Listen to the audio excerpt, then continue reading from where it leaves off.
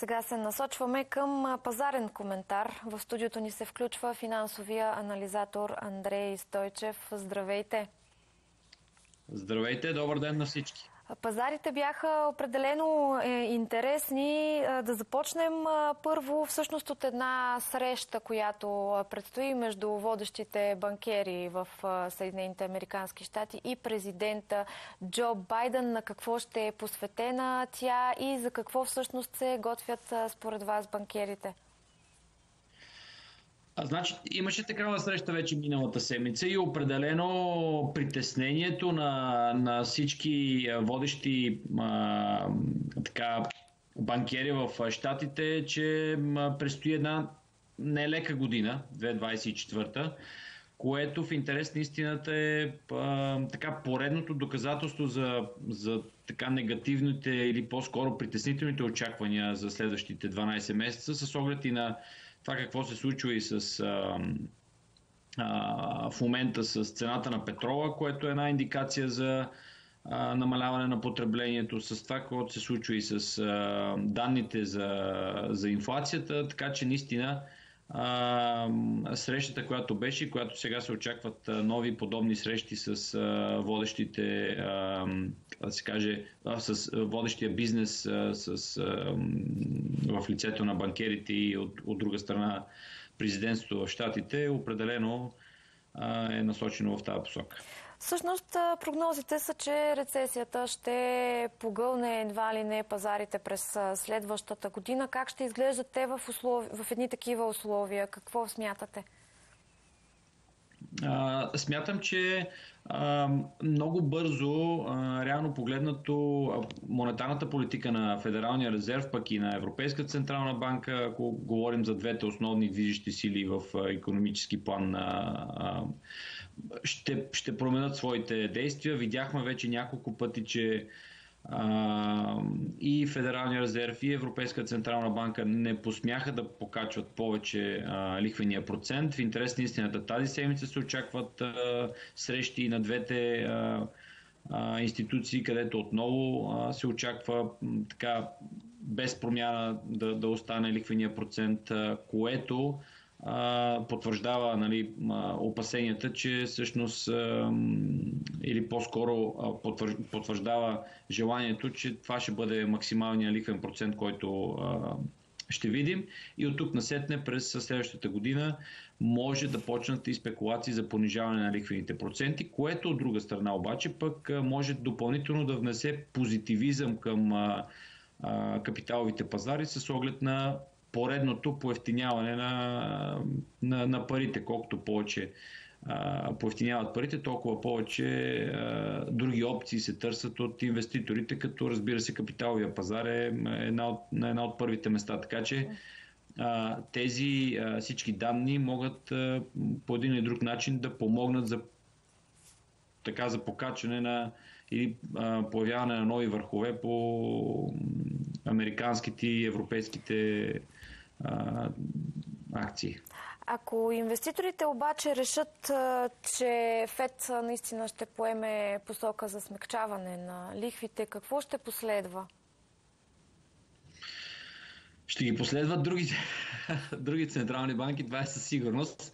Но сега, ясно е, че няма да се избързва и не очаквам да има резки завой в първите, може би, 3 месеца от 2024 година. Евентуално след това, някъде преди лятото, може вече стига да се запазат данните, които в момента се виждат, т.е. охлаждане на, на инфлацията, доближаване на 2%, за тормозяване или, точно, или по-скоро забавяне на развитието на економиката. Тия всичките индикации би следвало, ако се запазят в този тренд, да помогнат за едно такова евентуално решение и промяна на курса на, на, на банкерите в Штатите, пък и не само там. А, така че ако това се случи, отново казвам, че ще има пак така по-волатилен валутен пазар, което е добре дошло за спекулантите в интерес на истината от една страна и от друга страна вече а, наистина движение в двете посоки, но по-скоро в положителна посока по отношение на капиталовия пазар, тъй като, както казах отново, ще има пренасочване на ресурси от а, от една посока към друга и обикновено капиталовия пазар е едно от първите места, където свежи пари, които търсят по-добра възвръщаемост, могат да се озват. Според вас обаче вижданията на инвестиционните банки и менеджерите на активи разминават ли се на фона на разбира се на всичко това, което коментирахте до момента? Къде са и къде са пресечните точки? Не смятам, че се разминават. Пресечните точки са данните, които излизат а, периодично по отношение на инфлация, безработица и а, промяна на цените на дребно а, по места от една страна и от друга страна данните, които излизат пък от големите компании, от периодичните резултати, които публикуват на всеки 3 месеца за развитието на тези компании. Тези двете така, линии, колкото повече се пресичат, толкова повече пътя е ясен и колкото повече се разминават, толкова повече се появяват неясноти. Съответно, от една страна бизнес организациите, а от друга страна и държавния апарат търсят възможност да ги пресекат, така да се каже. Така че това са двете водещи а, линии на, на развитие на економиката и то не е само сега, не, няма да е само през следващата година и като цяло това са винаги а, били а, водещи индикатори по отношение на развитието на економиката. Да разгледаме какво се случва на пазара на акции и по-специално при така наречените големите седем. А, какъв е в момента инвеститорския интерес? Каква е тенденцията, която се наблюдава? Положително остава, положително остава въпреки а, така противоречивите данни, които излизат. Положителни са настроенията. Имайте предвид, че винаги в края на годината има къде е чисто емоционална, къде е чисто и практическа еуфория на пазарите. Е съвсем нормално да, да виждаме покачване на, на водещите индекси. Разбира се, какво става и за водещите 7, както вие ги нарекахте, компании в, в Штатите. Така че смятам, че а, настроението остава положително. А, всички тия неща, които и говорихме тук, в частност за капиталовите пазари, също по-скоро бих казал, че са положителни. И между другото, това се потвърждават и, и данните, и така коментарите, които сме правили в, през миналата, пък и през тази година, че определено пак се, да, да, да се съгласим, че няма да има някаква промяна фундаментална по отношение на економика, геополитика, което винаги може да се случи, но при равни други условия, определено от 2024 година очаквам да бъде по-положителна за капиталовите пазари, отколкото през последните две години. Наблюдавате ли тенденция за пренасочване на инвеститорския интерес към друг тип активи, не към тези, които са толкова популярни? Разбира се, как цялата ситуация с економически показатели, свързани не само с Съединените щати, разбира се, геополитическата картина, как влияят те на, на този пазар? Има, има раздвижване на капитали. То винаги, е, разбира се, капиталите търсят възможно най-голяма възвръщаемост и, и всеки гледа да бъде ликвиден и да може да, да мести, да, така, да търси най-добрите е, резултати. Определено последните месеци видяхме едно покачване, по-скоро едно раздвижване в цената на златото и на среброто, което бяхме позабравили малко, като че ли последните години.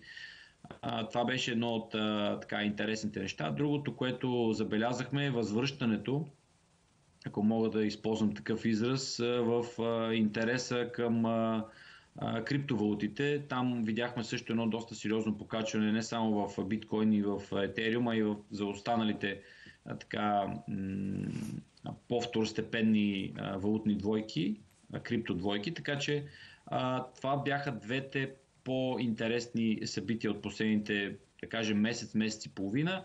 Ясно, че капиталовите пазари на няколко пъти бележат а, нови а, стойности за последните години, което също е положително.